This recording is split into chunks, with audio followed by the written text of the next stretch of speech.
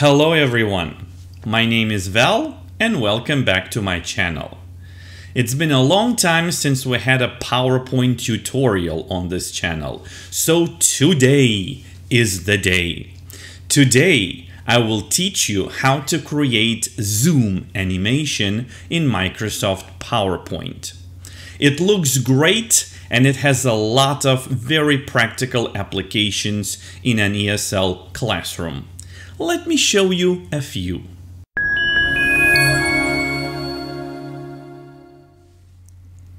For example, you are in the classroom and this is the slide you're showing to your students.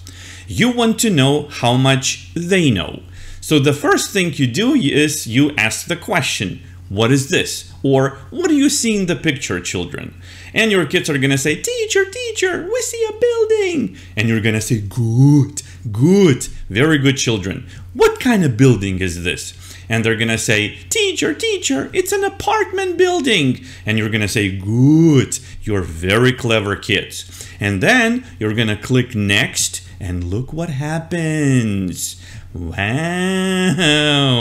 And then you're to ask them, what is this? And hopefully they're to say, it's a balcony. And then you can ask, um, what do you see on this balcony? Yeah, what is on the balcony? And ho hopefully they're to say, um, there are some plants, there are some chairs, and so on. And then you're to praise them. Yes, very good, very good.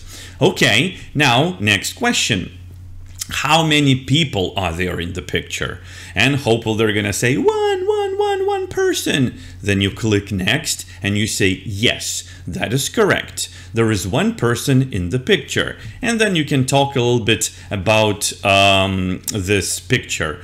Is it a boy? Is it a girl? What is he doing? He is sitting on the chair. Very good children. You are so so clever. So as you can see uh, this beautiful zoom animation adds a little bit of extra pizzazz, a little bit of extra oomph to your slides. And children are gonna appreciate it. And also it's much more visual um, than just a picture. So let's learn how to make it from scratch. So I'm going to delete this, these two slides and then uh, we are going to make them together from scratch. Okay, so when you open up your PowerPoint uh, application, here's what you see. So the first thing you want to do, you want to get rid of these blocks. So uh, right click, layout, and choose blank. This way it looks uh, more beautiful and it's more convenient to work. Next thing we want to do is to insert a picture.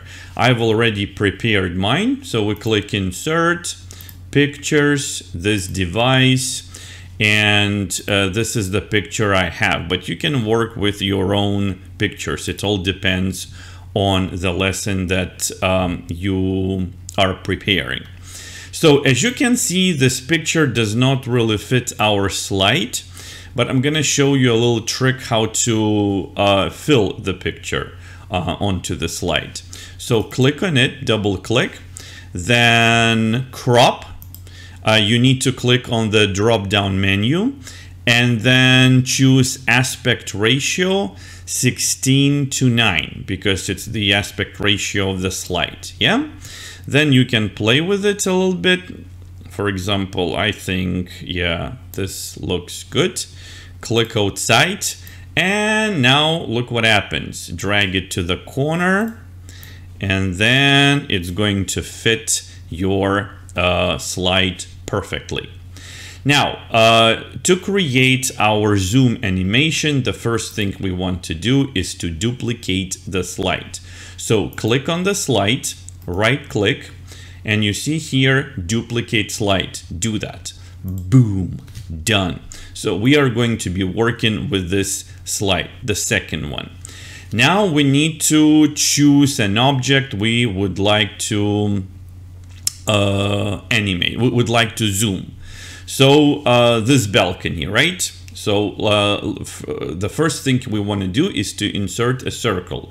So we click insert then shapes and we choose basic shapes oval here. Now look, uh, if you insert it just like that, it's gonna look like an oval. It's not gonna look like a circle. So you need to press and hold the shift button. If you do that, it's going to be a perfect circle. You see? There we go. So press and hold the shift button. There we go. Now you can release it and you can um, place it where you want on your slide. Okay, then we go to shape fill, shape fill, no fill, and also we need to work with the shape outline. So I'm going to go with red and also I need to uh, choose the weight. I want it to be thicker. I think this one, six points. This looks good enough. And maybe I'll make it a little bit um, bigger so it looks more beautiful. There we go. There we go. Okay. All right. Uh, next thing we want to do, we need to cut it out. So click on the whole image, double click on the whole image. Then you see this crop button again click uh, don't click on the button but click on the drop down menu here on this arrow and ch uh, choose crop to shape choose basic shapes oval yeah? This is what's gonna look like. It's not perfect but stay with me. We're working on it. So again go to uh, the crop button uh, click on the arrow and choose aspect aspect ratio 1 to 1 and now that's important. You need to press and hold the shift button and then you need to fi uh, uh, fit this image into our circle just like so so let's do that. Let's make sure it looks good. Okay. Bear with me, bear with me. Okay, I think, I think it's all right, yeah? Okay. All right, great. Now release the shift button and you can click outside the picture boom and we have our um, uh, circle here yeah now uh, we are going to cut it and uh, paste it into the first picture so here's what we're gonna do. First of all we need to choose it. And there are two objects here the circle and also uh, the picture yeah? So we choose them both. And then we have uh, we need to press Ctrl X which is uh, key combination for cut. And then uh, we go to the first image and we press Ctrl V which is a fast combination of paste and now um, our our circle and shape are exactly where we want them to be. And we can delete the second slide because we don't need it anymore. Now we'll be working with the first slide.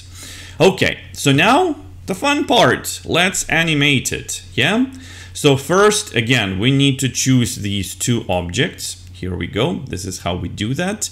Then we go to animations uh, we can open the animation pane so you can see what's happening here. And we are going to choose our first animation. It's going to be this one under emphasis, grow and shrink. Boom, there we go. But we're not there yet. We're not done yet. Uh, we want to make it uh, a little bit more beautiful. So click on that circle that we choose before. Yeah? The the red one. Here we go. And now let's add one more animation.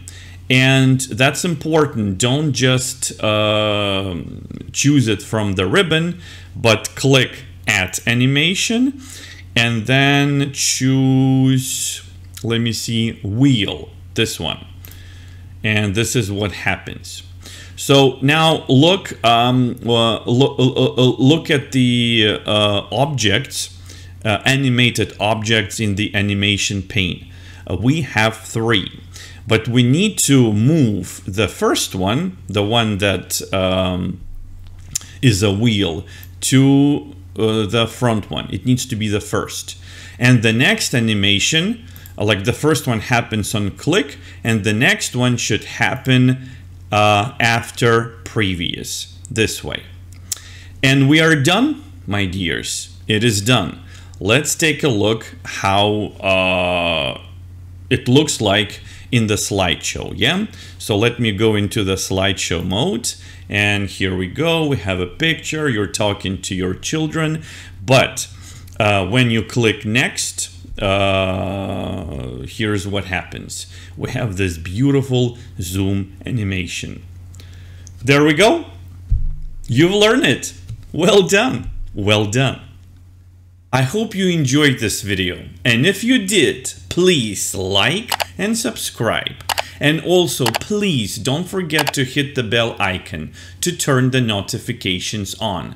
This way, you'll never miss a single upload, and also you will help me grow my channel. Because this way, the uh, YouTube algorithm is going to push my videos and more people are going to see them. And that's important for me. Thank you very much. Have a beautiful day.